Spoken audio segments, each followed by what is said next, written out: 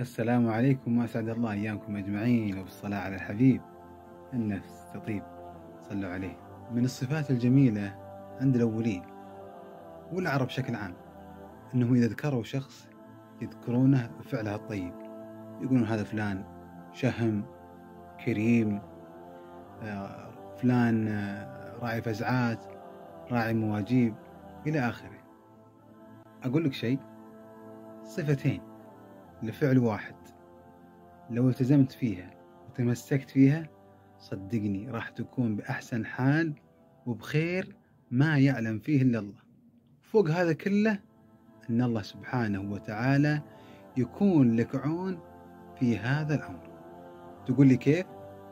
أنا أقول لك.